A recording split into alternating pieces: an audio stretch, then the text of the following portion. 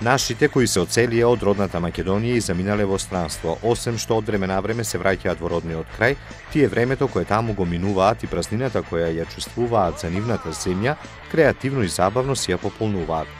И она што е уште поинтересно, преку песна зборуваат или гласно размислуваат за состојбите кај нас. Палјачот од Битола подолго време живее и работи во Флорида, Америка. Музичката кариера која ја имаше овде ја продолжи таму. Во една од неговите предходни песни зборуваше за политиката за председателите. Деновиве е време на празници, мазници, односно барање паричка за среќа.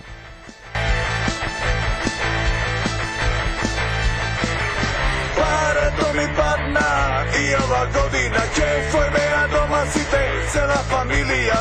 Може ќе имам среќа, ќе најдам работа, ако се зачленам во некоја партија. Парето ми падна и ова година ќе фојбеа дома сите, цела фамилија.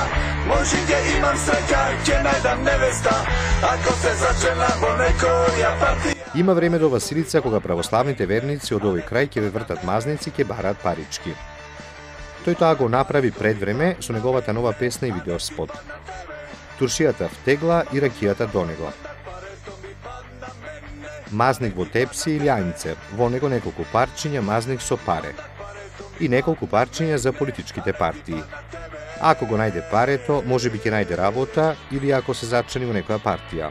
Пее и за тоа дека ако се зачени во некоја партија, може би ќе се ожени.